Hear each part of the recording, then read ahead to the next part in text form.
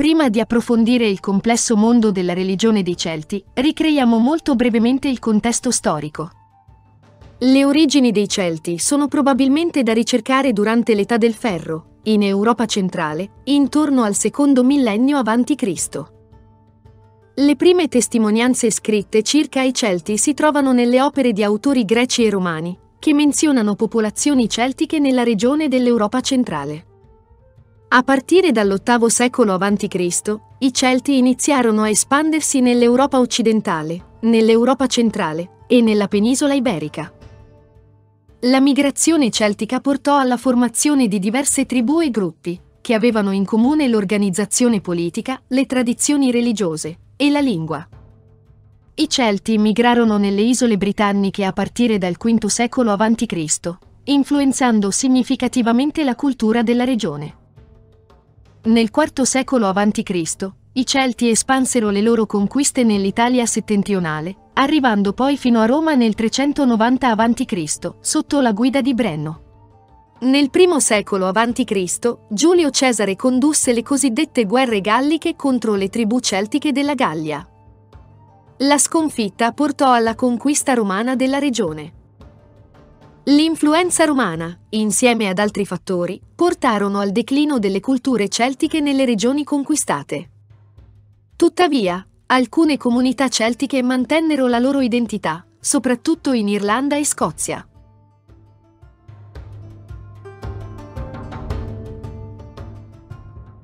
Nella società celtica, un ruolo importante spettava ai druidi. La loro storia è avvolta nel mistero a causa della mancanza di fonti scritte dirette, poiché i druidi celtici basavano il loro insegnamento sulla trasmissione orale della conoscenza. Tuttavia, attraverso le testimonianze scritte di autori antichi, di miti celtici e degli studi moderni, possiamo delineare alcuni aspetti della storia dei druidi. I druidi erano sacerdoti, consiglieri, insegnanti, giudici e custodi della tradizione orale. La loro presenza era essenziale per la stabilità sociale e la coesione della comunità. Come custodi della conoscenza, erano responsabili della conservazione di miti, leggi, poemi e delle pratiche rituali. L'educazione dei druidi era rigorosa e richiedeva anni di studio. Si ritiene che l'apprendistato includesse la memorizzazione di poemi epici, la comprensione della natura, la pratica delle arti magiche e l'acquisizione di competenze politiche. La conoscenza veniva trasferita oralmente da maestro a discepolo. I druidi avevano un ruolo centrale nelle cerimonie religiose celtiche. Si riunivano in luoghi sacri, spesso vicino a alberi considerati sacri, come le querce.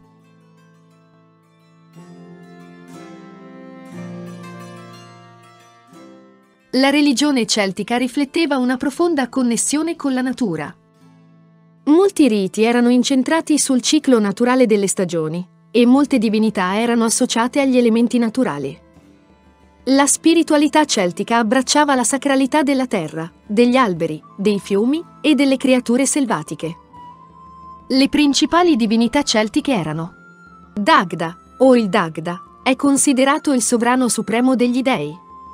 La sua maestosità era associata al controllo del ciclo delle stagioni e al suo influsso sulla prosperità e sulla fertilità della terra.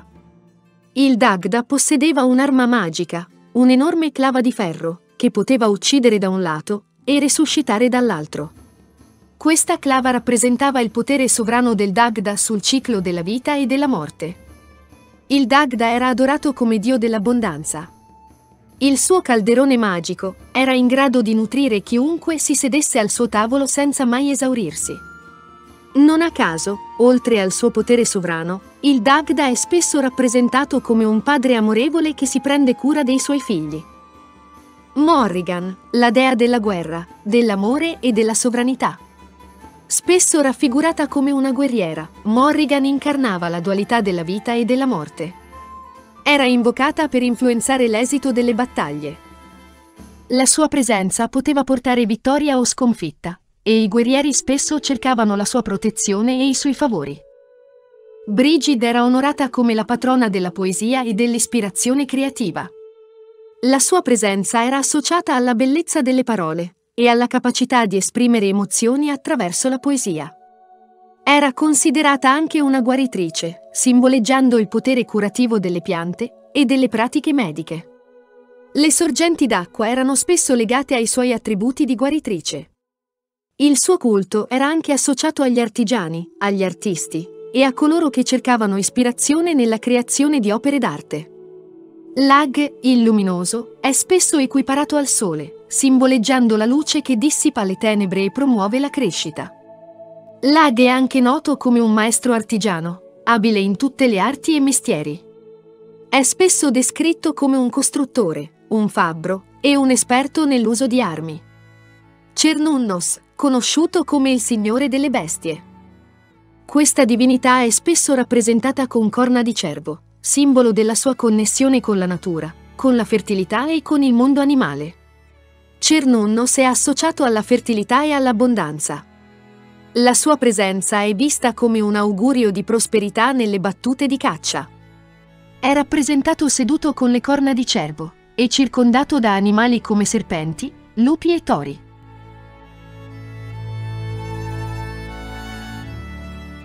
La religione celtica è ricca di simboli che riflettono la connessione dei Celti con la natura, la spiritualità e il ciclo della vita. Ecco alcuni dei simboli più significativi. Triquetra. La triquetra è un antico simbolo celtico composto da tre archi intrecciati. Si tratta di uno dei diversi simboli celtici che rappresentano la triplicità dell'universo. Per i Celti, infatti, tutte le cose importanti erano rappresentabili secondo il principio della triplicità. Vita, morte, rinascita. Passato, presente, futuro. Terra, cielo, mare. Mente, corpo, anima. La triquetra era associata ad una divinità femminile, la Grande Madre, identificata nella luna e nelle sue tre fasi. Le tre braccia rappresentavano la fanciulla, la donna e l'anziana. Triskelion. Il triskelion è un simbolo composto da tre spirali che si irradiano dal centro. Rappresenta il movimento, il cambiamento, l'evoluzione spirituale, la determinazione a migliorarsi, e a superare le avversità incontrate nella vita. Croce celtica. La croce celtica è una croce circolare con bracci che si estendono oltre il cerchio. Simboleggia l'unione tra il sacro e il profano, oltre a rappresentare il ciclo di vita, morte e rinascita. Albero della vita. L'albero della vita è un simbolo comune in molte tradizioni, inclusa quella celtica. Rappresenta la connessione tra cielo, terra e mondo sotterraneo, oltre a simboleggiare la crescita e la rinascita. Le qualità associate a questo simbolo sono la saggezza, la forza e la longevità. Spirale celtica. La spirale è un motivo ricorrente nella cultura celtica, con varie interpretazioni. Rappresenta l'estensione, il ciclo della vita, l'eternità e la connessione tra il mondo fisico e spirituale.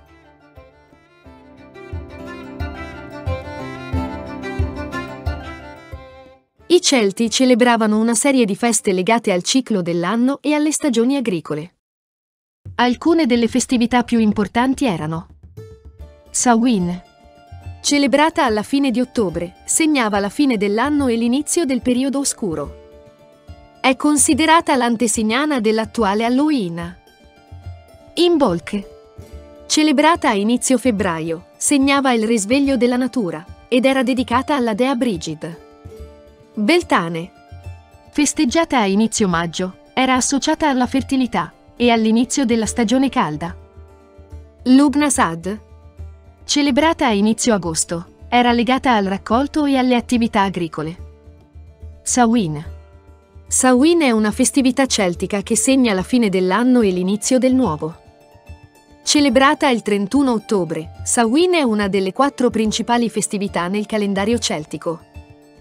È spesso considerata il capodanno celtico e rappresenta il momento in cui il velo tra il mondo dei vivi e dei morti si assottiglia, consentendo agli spiriti di attraversarlo.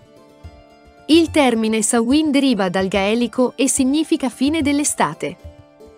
Questa festività era un momento cruciale per i Celti, che riconoscevano il legame profondo tra la fine del ciclo agricolo e il mistero della morte. Samhain era un periodo in cui si onoravano i defunti. I Celti credevano che durante questa festa gli spiriti dei morti potessero tornare sulla terra.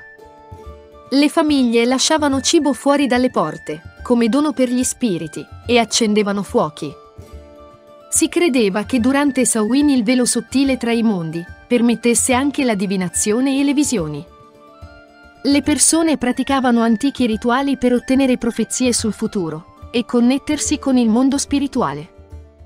L'usanza di indossare costumi e maschere durante l'odierna festa di Halloween ha radici in Samhain. Si credeva che il travestimento confondesse gli spiriti malvagi o li dissuadesse dal danneggiare coloro che celebravano la festa. In molte comunità celtiche, Samhain era segnato da fuochi sacri. La gente si riuniva attorno a questi fuochi per onorare i morti e scambiarsi storie e canti. Samhain rappresenta il concetto celtico del ciclo eterno di vita, morte e rinascita. Mentre la Terra si prepara al riposo invernale, si riconosce anche la promessa di un nuovo inizio nella primavera successiva. In Bolk proprio nel buio dell'inverno, posizionato tra Iule, il solstizio d'inverno, e Ostara, l'equinozio di primavera, i Celti propiziavano il ritorno della bella stagione, attraverso Imbolc, con l'accensione di falò e candele.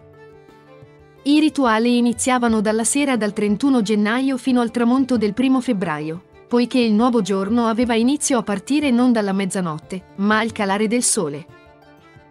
Questa festività è dedicata principalmente alla dea Brigid. Imbolc era una festa legata alle tradizioni agricole e al risveglio della natura dopo il periodo invernale. Il suo nome deriva dal gaelico Oimelk, che significa latte di pecora, indicando la stagione in cui nascevano gli agnellini, e le pecore iniziavano ad allattarli. La festività simboleggia quindi la transizione dal buio alla luce, sia fisicamente che spiritualmente.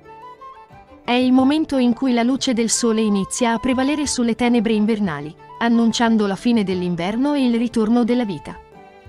Brigid è la figura centrale di Imbolc. Nella tradizione celtica è vista come una divinità dalle molteplici sfaccettature. Dea del fuoco, protettrice delle arti, guaritrice e custode del bestiame. Imbolc onora anche la sua natura di dea della guarigione, della luce e della fertilità. Imbolc è spesso celebrata accendendo candele e fuochi, per rappresentare la luce che cresce. Il fuoco simboleggia la vittoria della luce sulle tenebre e la rinascita della natura. Un antico rito di Imbolc sta nella creazione di particolari croci, realizzate intrecciando canne o paglia e dedicate a Brigid per ottenere la sua benedizione e protezione. Imbolc è anche associata alla purificazione.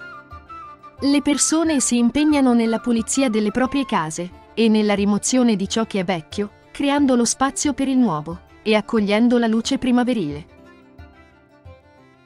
Beltane Beltane è celebrata tra il tramonto del 30 aprile e il tramonto del 1 maggio.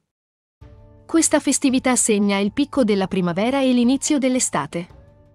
Beltane è una festa dedicata alla gioia, alla fertilità e alla celebrazione della vita. Il nome Beltane deriva dalla parola gaelica Bealten e significa fuoco brillante.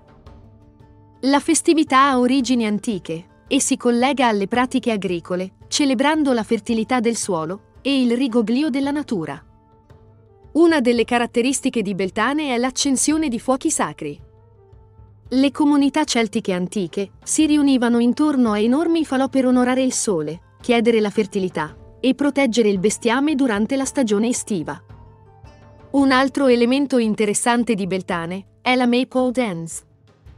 Una lunga asta, spesso decorata con fiori e nastri colorati, viene eretta e le persone ballano intorno ad essa, intrecciando nastri per creare motivi ornamentali. Questo antico rituale simboleggia l'unione dell'energia maschile e femminile, celebrando la fertilità della terra. Lugnasad, la festa celtica dei raccolti. Lugnasad, conosciuta anche come Lammas, è celebrata nei primi giorni di agosto. Questa festività segna il momento dei primi raccolti. Il nome Lugnasad deriva dal dio celtico Lag, venerato durante questa festività. Questo periodo è dedicato alla celebrazione dei raccolti estivi e al ringraziamento per il cibo che sosterrà le comunità nei mesi successivi. Lugnasad coinvolgeva anticamente riti agricoli per garantire una buona resa dei raccolti. La gente faceva offerte di grano e altri prodotti alimentari al dio Lag, sperando in un raccolto abbondante. Il pane, simbolo della prosperità, era spesso preparato in forme elaborate. La festività era anche caratterizzata da giochi e competizioni in onore di Lag. Si svolgevano gare, tornei e sfide artistiche. Alcune comunità celtiche costruivano effigi rappresentanti il dio Lag. Queste effigi venivano poi offerte al dio o bruciate, come parte di rituali sacri. L'Ugnasad era anche un momento di condivisione del cibo. Le comunità si riunivano per pasti comuni, spesso preparando pietanze a base di grano e frutti appena raccolti.